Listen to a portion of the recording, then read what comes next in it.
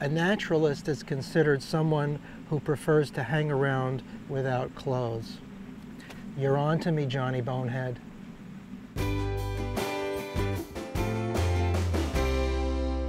I'm Mike Shaw, here with Motherboard, and we're here to respond to the video, First Animal to Survive in Space.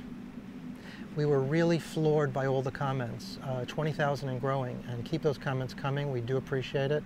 I'm very grateful for the response. And now let's get to some of your questions and comments. This stuff ain't new. I saw a special on these things four years ago on Discovery Channel. Why these just coming to light? TJ, the editor. Well, um, we're just adding to the discussion. People want to hear about tardigrades, they want to hear about space, and anytime you talk about this type of topic, um, it spurs interest because we all want to know how we got here. So let me talk about some of the science versus religion comments. I think um, that might be interesting. Jubba explains that the purpose of life uh, is to propagate itself. Hmm, there's an idea. And Chicken Fingers 123 um, talks about, let's see, he clarifies entropy theory versus the biblical age of the earth. For me, there's really only one question uh, about the universe and its origins, um, and that is, why is there anything at all? In other words, why is there something rather than nothing? And by nothing, I don't mean vacuum or space, I mean nothing. So just think about that for a second. Let it sink in.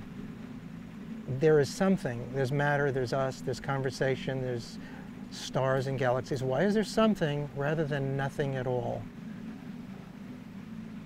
All of the great religions, they all at least attempt to tell us why there is something. Religion tells us why.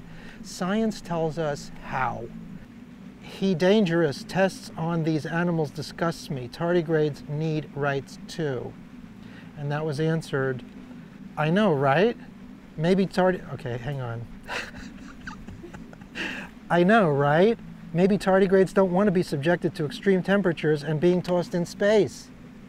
You know what? You're onto something here. I don't think they want that at all. No. I can't tell you what they do want, but they don't want that.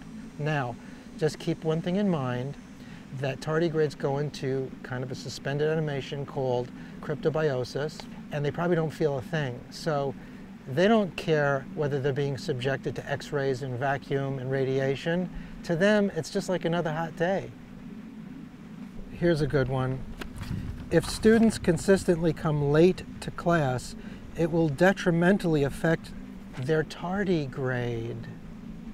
Love that, love that. One million monologues. You have a good sense of humor. And by the way, I used to be in the hot dog business, but I didn't relish it. One of the questions was, why talk about tardigrades from space? Evidence shows that they're related to Earth creatures. That's from Philip Hedden. Um, that's, that's a great question because um, that's very true. Uh, most of the evidence, especially DNA evidence, which we have now and we didn't have in the past, um, shows that they're either related to arthropods, nematodes, which are those little round worms. Arthropods would be ticks and uh, water mites, little tiny creatures. So they probably are related to creatures that are on Earth. So the question is, again, did tardigrades come from space? if there was a fragment of DNA that arrived here on a comet or a meteor and um, that evolved into all life, including tardigrades, then yeah, tardigrades came from space. So that's one way to look at it. Okay, one nice comment, which I, I don't know how it was meant, but I know how I took it. Uh, Daniel Vincent Kelly made a rather long comment, and at the end he said, dude should have a job packing bags.